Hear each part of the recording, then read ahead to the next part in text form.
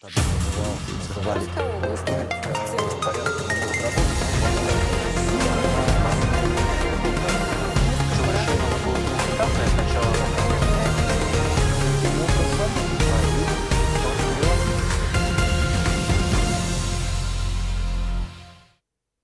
В эфире программа «Актуальное интервью». В студии Ольга Русул. Здравствуйте. Проблемы жителей отдаленных населенных пунктов. На какую помощь они могут рассчитывать и насколько она эффективна? Об этом и другом мы поговорим с председателем постоянной комиссии по вопросам государственного устройства и местного самоуправления Александром Чурсановым. Здравствуйте, Александр Павлович. Здравствуйте, Ольга. Александр Павлович, 4 июня в Великом Новгороде состоялась 59-я конференция парламентской ассоциации Северо-Запада России. Вы принимали в ней участие. Расскажите, пожалуйста, сколько вопросов, какие вопросы рассматривались, что там происходило? Ну, действительно, на конференции было рассмотрено очень много э, важных вопросов, важных для, с точки зрения парламентариев Северо-Запада. Э, всего рассмотрели мы 41 вопрос, ну и э, конкретно от собрания депутатов Нейского автономного округа было три вопроса. Мной была представлена инициатива собрания депутатов, которая позволила бы быть более доступным бензину для жителей сельских населенных пунктов. А, если немножко отойти в историю вопроса, то в 2013 году летом были приняты поправки в федеральном законодательстве, которые, в общем-то, в дальнейшем изменили порядок субсидирования подакцизных товаров. А, а именно бензин, так как э, он является в соответствии со 181 статьей налогового кодекса, является подакцизным товаром, то с 2013 года мы попросту не смогли его субсидировать. Такой инструмент, как субсидия на доставку топлива в села, а, у региональной власти пропала. Цены на бензин, они ну, возросли сразу же, имею в виду в селах, да, туда, э, где э, топливо завозят с большой земли, то есть это западное направление это с Архангельска, ну и, соответственно, восток это э, с Коми республики. А если э, до 2014 года бензин стоил в селах так же, как э, он стоит и в городе Наринмаре, то в дальнейшем, в 2015 году он стоил уже 70 рублей, а если говорить о 2020 году, то он стоил в некоторых населенных пунктах по 120 рублей за литр, или его там продают в бочках 26 тысяч рублей за бочку. Соответственно, нами был разработан проект федерального закона о внесении изменений э, в пункт 1 статьи 78 бюджетного кодекса Российской Федерации, который позволил бы субсидировать затраты поставщикам бензина в труднодоступные сельские населенные пункты районов Крайнего Севера и приравненных к нему местностях. А, поэтапно мы этот вопрос проработали. Сначала э, направили запросы э, в северные регионы, то есть мы получили ответы из Красноярского края, Республики Саха-Якутия и Малонинецкого автономного округа. Ну и, конечно, это наш северо-запад от Коми Республики и до Калининграда. А, наиболее такой развернутый ответ и схожие проблемы – это Республика Саха-Якутия. То есть во время северного завоза, это те топливные компании, которые снабжают людей Э, бензином. Э, кроме этого, конечно же, они завозят там и э, дизельное топливо, мазуты для отопления. Они несут очень большие финансовые издержки ввиду того, что у нас все-таки северный завоз – это ограниченное время завоза грузов, очень сложные транспортные схемы, отсутствие нормальной логистики – это очень-очень дорогое удовольствие. Да, если сказать по нашему округу, то на северный завоз Север, Севержелкомсервис тратит более 1 миллиарда рублей ежегодно. Да? То есть и в рамках э, этого завоза э, люди э, покупают бензин, э, людям доставляют дрова, э, доставляют уголь, э, доставляют э, жидкое топливо и мазуты для теплоснабжающих, электроснабжающих организаций. Ну, это Северокомсервис все-таки. Но необходимо сказать, что я разговаривал с главами муниципальных образований, я, в общем-то, общаюсь постоянно с жителями наших сельских населенных пунктов. А, бензина у сервиса на сегодняшний день берут очень мало людей. Причина как какая? Откуда они берут бензин? А, западное направление, западный куст, так скажем, от э, Пеши до Шойны, они возят этот бензин из э, Мизени, Архангельская область. А, ну и э, восток, это, соответственно, э, Инта, Воркута, э, Харьяга. Ну, то есть люди сами себя обеспечивают на сегодняшний день бензином.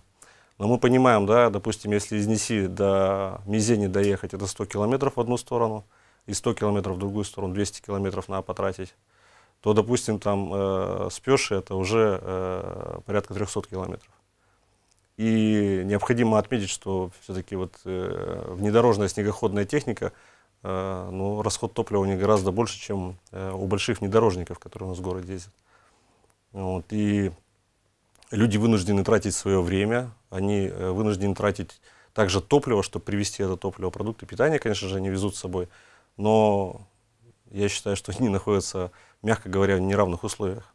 Вот представьте себе, вы с утра садитесь э, за руль вашего автомобиля, приезжаете на заправку в городе, и вам говорят, что 92 бензин стоит 120 рублей за литр. Но он сейчас не 120, там где-то 100 рублей, 110, 90 рублей. Но все равно это в два раза больше, чем в городе. А, причем мы понимаем, что цена-то складывается исходя из конкурсных процедур, предусмотренных 44-м федеральным законом. То есть это три поставщика, это средняя цена э, за единицу, да, там, допустим, за тонну. Поэтому, конечно, мы прорабатывали этот вопрос, затем подготовили инициативу. Инициатива была изначально рассмотрена на профильном э, комитете парламентской ассоциации Северо-Запада России, которая состоялась у нас совсем недавно, в апреле, в режиме видеоконференц-связи. Э, также э, коллеги, э, депутаты Северо-Запада поддержали ее единогласно. Ну и, соответственно, 4 числа она была рассмотрена на конференции. Э, также коллеги единогласно эту э, инициативу поддержали. Было принято решение направить ее далее в Совет законодателей э, при Федеральном собрании Российской Федерации и рекомендовано собрание депутатов, соответственно, данную инициативу направить в Государственную Думу Российской Федерации для дальнейшего рассмотрения. А вопрос этот мы рассмотрим 1 июля текущего года на сессии. Соответственно, после этого, в случае, если парламентарии э, собрание депутатов ее поддержит, мы ее направляем э, в Государственную Думу Российской Федерации для рассмотрения. А, необходимо отметить, что все-таки мы э, в данном проекте э, не просим федерального финансирования.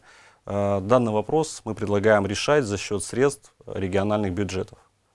А, я не думаю, что это потребуется большое количество финансовых средств, так как, в общем-то, села Нижнепечорья, они, как правило, бензин привозят из города, это не так далеко.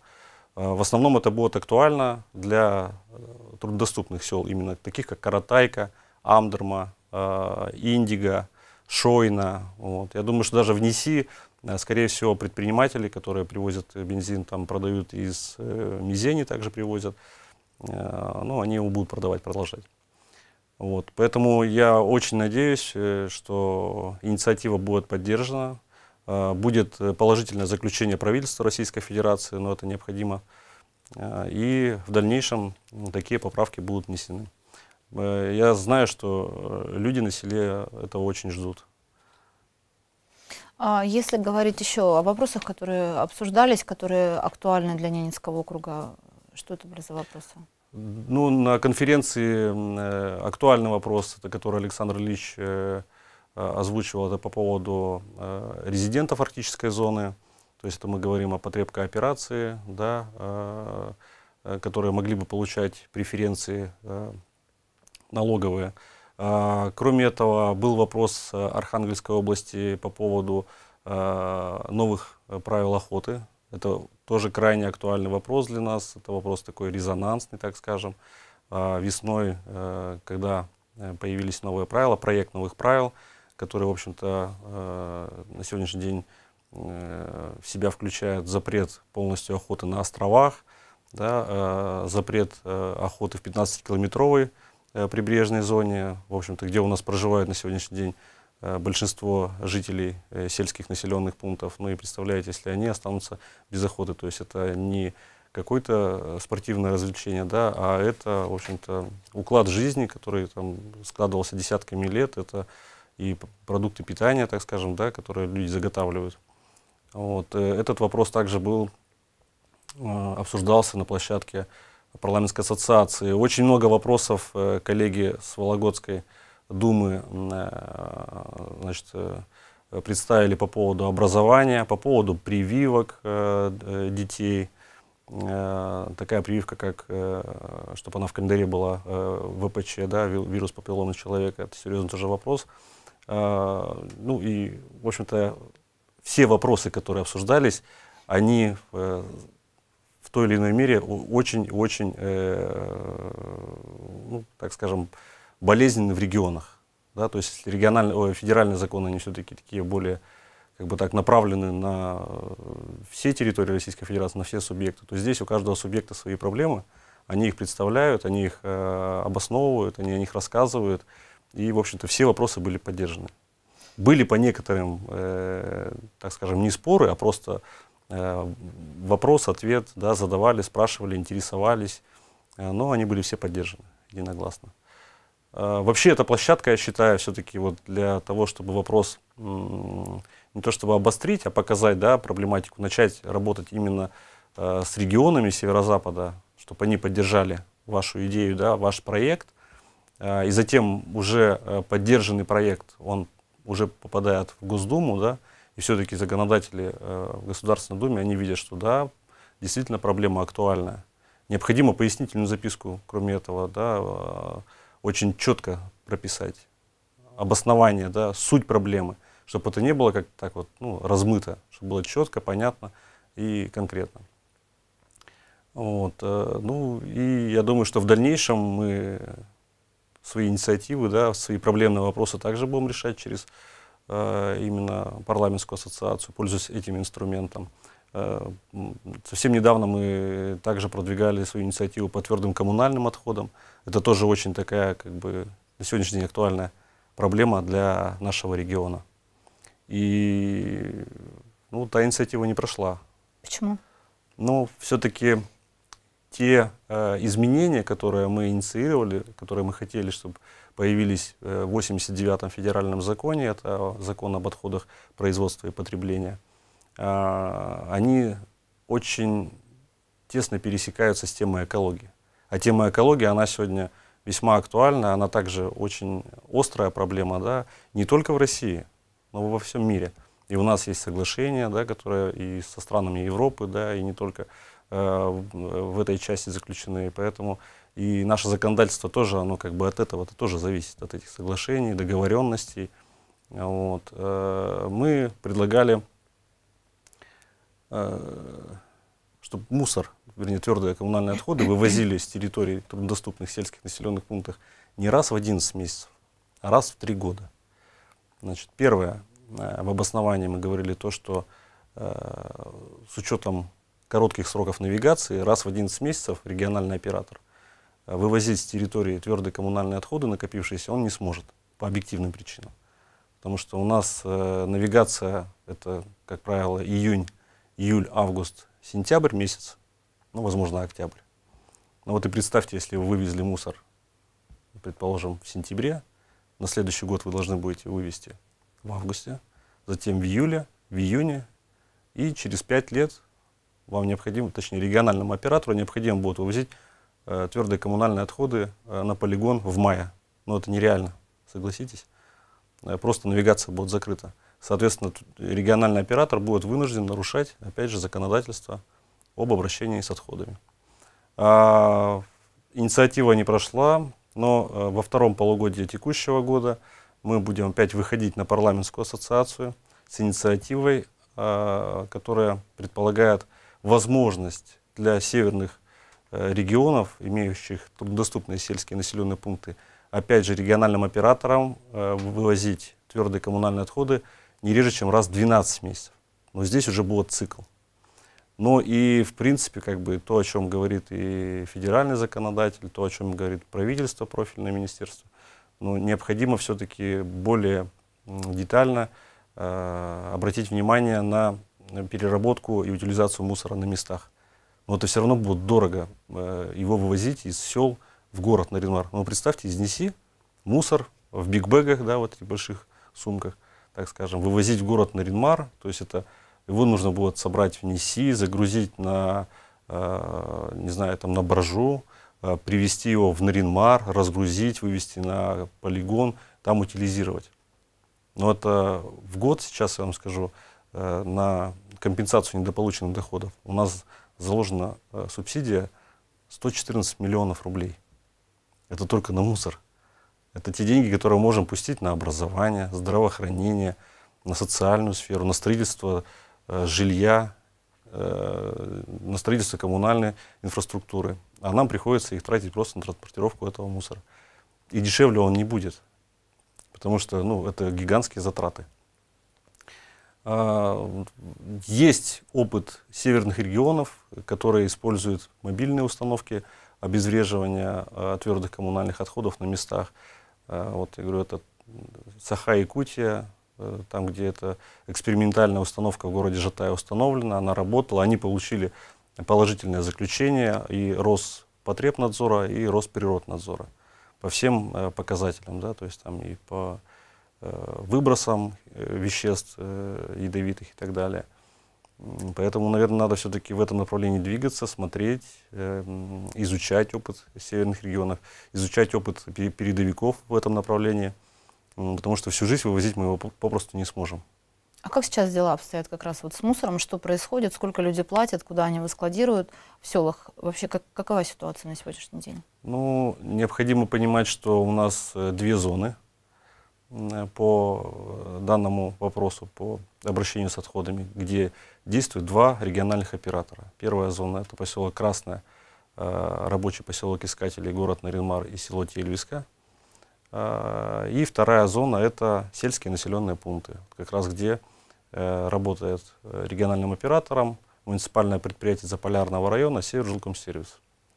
Это самая вот именно сложная схема, да, Э, обращения с отходами, самая затратная схема обращения с отходами. Но, опять же, региональный оператор обязан исполнять требования законодательства в области обращения с отходами. Так вот, э, на сегодняшний день э, в большинстве сел это организован сбор мусора, так скажем, от домов, то есть там либо стоят прицепы, либо приезжает трактор, люди этот мусор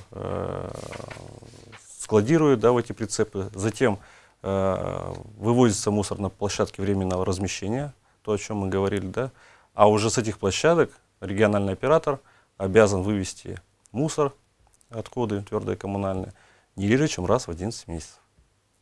На сегодняшний день в селах у нас нет эффективных установок либо систем утилизации твердых коммунальных отходов.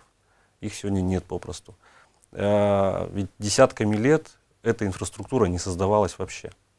То есть люди по старинке, да, э, летом там на мотоциклах, не знаю, на квадроциклах, зимой на снегоходах этот мусор э, просто вывозили, так скажем, на несанкционированные свалки, которые с годами росли, множились.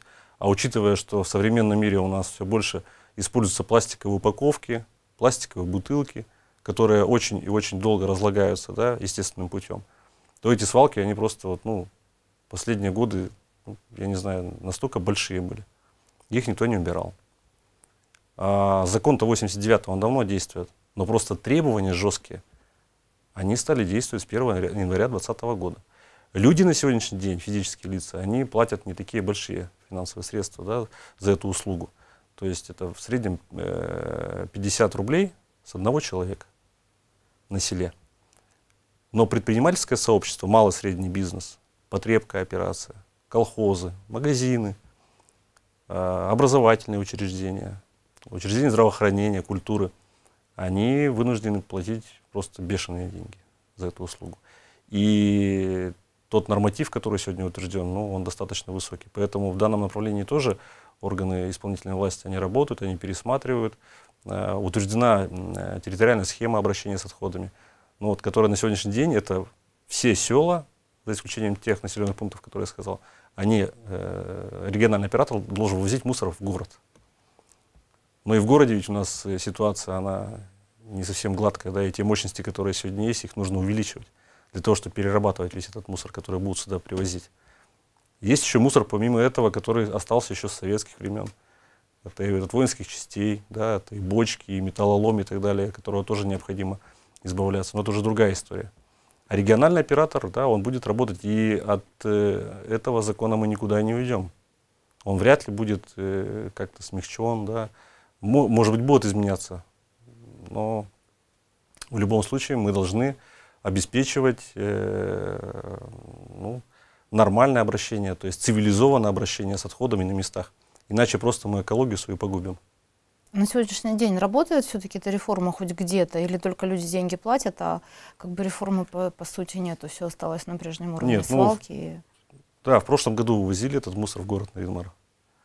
Ну, может быть, не в тех огромных объемах, которые он там скопился, но э, баржи, да, я знаю, что вывозили из Неси, вывозили из Шойны по западному направлению. Просто, да, вот, представьте, мусор, да, у нас есть северный завоз, когда мы завозим э, энергоресурсы, в села нашего, э, нашего округа. А теперь появился северный вывоз. Если, допустим, даже в Советском Союзе, помните, когда стеклотару принимали, да, люди сдавали, там, школьники эти бутылки мыли, там, сдавали, не было так много пластика, в основном бумажные упаковки были, и, и столько мусора не было, то теперь-то его очень много. И даже сжигать-то в печках, ну, это тоже опасно. Ведь там все эти Э, вредные вещества, которые выделяются в процессе горения от пластиков, они же потом оседают, на крышах оседают, просто в воздухе, ну, в воде в той же. Поэтому тут э, все не так просто. И все-таки этим вопросом нужно именно цивилизованно. И люди должны, наверное, все-таки э, уже, так скажем, детей своих, да, взрослые люди должны обучать, что должен быть раздельный мусор.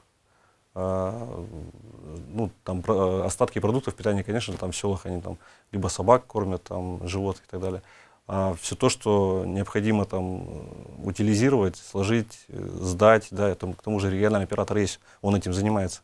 Вот у меня вопрос как раз. А люди-то население понимают актуальность этой проблемы? Насколько, они, насколько она для них важна, эта проблема? Насколько они озабочены этой проблемой, сельчане? Безусловно, они э, крайне э, обеспокоены тем, что эти свалки растут. Э, ну, вы представляете, постоянно под боком у вас, да, вот эти вот, не знаю, там, спердящие вот эти кучи. Вот, заинтересованы да, были некоторые недопонимания, когда начал работать оператор региональный, начал он эти деньги собирать с людей. Ну, это всегда, как бы, да, когда люди не понимают сначала, а как, каким образом дальше эта схема будет, за что берут с них деньги. Почему, да, то есть если они там собрали буквально куда-то, вывезли на участок земельный, поставили эти пакеты, эти пакеты там собаки растаскивают и так далее. Ну, такие вопросы были просто. Люди не понимали. Но когда потом начинаешь рассказывать, что все-таки этот мусор необходимо либо утилизировать на месте и поставить установку, которая будет сжигать этот мусор, да, либо иным способом, э, там, не знаю, измельчать, э, перерабатывать, да, но его необходимо будет вывести. Допустим, в цивилизованных странах Европы тоже ведь сейчас мы видим, что некоторые даже закупают мусор у соседей. Они его перерабатывают, да, тот же пластик, ну, это же вторсырье, из которого потом можно делать там и татуарную плитку и все что угодно. Но все-таки в нашей стране, а в особенности в нашем регионе, э, ну, это только самое-самое-самое начало пути. Именно обращение с твердыми коммунальными отходами. Вот вы часто бываете в селах, да, кроме мусора, что, с какими вопросами подходят к вам жители, что беспокоит, да, если вот, по значимости самые важные вопросы, самые менее значимые? Ну, последние вопросы, которые, э, вернее, последние командировки, когда я был на Западе, а, люди, которые приходили на э, личный прием, все-таки первый, первая проблема – это уровень коммунальной инфраструктуры. А, первое – это что людей беспокоит, первое, с чем они обращаются, это возможность подключения индивидуальных жилых домов к центральным системам отопления. Данный процесс идет. Во многих селах, поселках людей подключают к центральному отоплению. Люди почувствовали, как это удобно. Когда не надо тебе э, топить печку углем. Постоянно ты с утра должен проснуться, почистить э, печку от шлака, затопить, накидать угля, бежишь э, на обед, чтобы она не потухла. Ты постоянно привязаны к этой печке. Это вот как корове привязаны, да? А они видят, соседа подключили, все. Сосед нормально может уехать командировку, в отпуск, просто съездить на рыбалку, я не знаю, да, и не нужно никого искать, кто подтапливал твою печку или топил, просто за тебя ходил.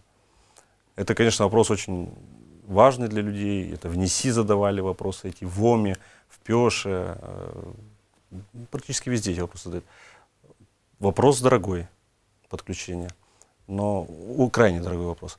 Но та программа комплексного развития сельских территорий, федеральная, о которой часто говорим, и многие депутаты собрания депутатов, да, они погружены в эту тему. Есть рабочая группа совместно с органами исполнительной власти. Эта программа готовится, конечно же, совместно и с департаментом АПК, и Заполярным районом, да, то есть районом, на территории которого расположены эти сельские населенные пункты. Но необходимо привлекать федеральные средства, делать проекты, показывать, что да, э, ну, могут строить эти э, тепловые сети. Это обеспечение чистой водой. Вот коммунальная инфраструктура, в целом, да, это качество электроэнергии. Тоже вопрос у людей возникает, потому что все-таки вот те дизель-установки, которые стоят, они тоже ветшают, их нужно обновлять, в них нужно вкладываться. Вот, ну, наверное, все-таки коммунальный комплекс, вот это он на первом месте. Затем, конечно, вопросы возникают по специалистам, обеспечению специалистов. Это узкопрофильные специалисты, это медицина, это учителя в школах. Ведь э, очень мало молодых учителей в школах сегодня. И пройдет э, там, десяток, два десятка лет. А кто потом будет учить детей? Когда тот педсостав, который сегодня работает, да, они выйдут на пенсию, а молодежи, там, предметников их не будет просто. А как же эти программы? Сельские учители, там же миллион или больше, сколько там предлагается? Там, Жилье предлагается, никто не хочет ехать? Нет, но сегодня э, преференции у медицинских работников в большей степени есть, да, и на региональном уровне, когда мы принимали э, эти льготы, э, то для учителей, я считаю, что сегодня все-таки недостаточно, наверное. А вопрос это крайне важный. А почему? Им же тоже, по-моему, деньги какие-то там, деньги, жилье, нет? Нет, э, вообще с жильем на сегодняшний день у нас проблемы в принципе на селе, потому что даже если есть возможность представить жилье, то его нет благоустроенного, мало очень, его надо строить. То есть мы обсуждали это вопрос и многоквартирные дома, да, там 6-12 квартирные, в которые это дом конкретно предназначен для проживания в нем специалистов, иногородних, приезжих. А, чтобы можно было привлечь в первую очередь, э, по крайней мере, Заработная плата, да, но ведь условия это проживания, это тоже крайне важно. И тоже, когда вы придете с работы, опять же, вам нужно эту печку топить, там, воду носить. Но я думаю, что высококвалифицированный специалист, он в село не поедет. Молодой. Ну, зачем он поедет, да, если он сможет устроиться в городе, допустим, э, в нормальных условиях. Вот. Поэтому здесь еще, знаете, какая проблема? Вот я недавно буквально запрос в профильный департамент образования направил – а, по целевым местам а, для студентов. То есть целевики, раньше ведь эта система очень э, ну, часто использовалась эффективно использовалась. Приезжали специалисты молодые, в том числе на село. А сегодня вот нас, допустим, и в авиаотряде не хватает пилотов, да, но там немножко другая проблема. Учителей, медиков. Может быть, необходимо все-таки нам э, собраться да, департаментами, всеми заинтересованными, и изучить да, э, потребность рынка нашего труда, составить перечень, и чтобы этот перечень э, профессий, он был доступен для будущих студентов, выпускников. Чтобы родители, вот мне звонили, допустим, спрашивали, там, Александр Павлович, а где мы можем посмотреть на сегодняшний день, э, какие целевые места в этом году есть для выпускников. Но они же не хотят на село потом возвращаться. Они не хотят, они даже ради целевого места не хотят в село возвращаться. Я думаю, не все не хотят. Есть люди, которые хотели бы приехать и поработать в селе.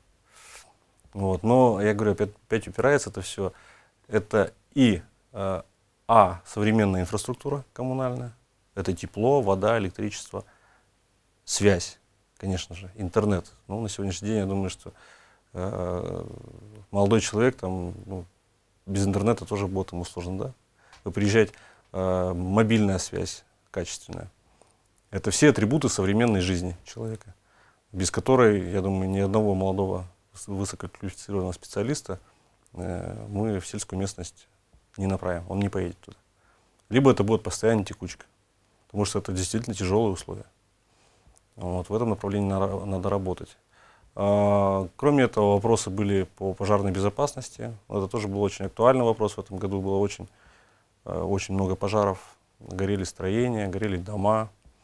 Вот, э, кстати, после того, как э, я вернулся, на комиссии на, профиль, на профильной мы рассмотрели этот вопрос. Дальше была создана межведомственная рабочая группа управления гражданской защиты. Создали эту группу. Первое заседание состоялось вот, где обсуждали вопрос увеличения э, штатной численности отдельных постов пожарной охраны на селах. А, кроме этого, обеспечение новым транспортом. Вот две машины сейчас планируется, передача в муниципальное образование. Один Урал в Нельминос и вторая машина, которая по габаритам ни в один из э, боксов, которые сегодня есть в селах, она просто не помещается. Тут тоже проблема, да? Техника есть, поставить некуда. Это тоже вопрос нужно решать комплексно. А, поэтому вопросов на селе очень много сегодня, и их необходимо решать. И э, решить мы их сможем только вот, э, непосредственно общей работой органов исполнительной, органов законодательной власти, потому что там, где не получается у исполнительной власти, то мы должны помогать как законодатели инициативами, а, направляя э, предложения в органы федеральной власти, ну и таким образом стараться, чтобы жизнь нашего населения она была лучше. Я надеюсь, что ваши инициативы будут услышаны. Наша программа подошла к концу. А я напоминаю, что в нашей программе был депутат окружного собрания, председатель комиссии по вопросам государственного устройства и местного самоуправления Александр Чурсанов. До встречи в эфире. До свидания.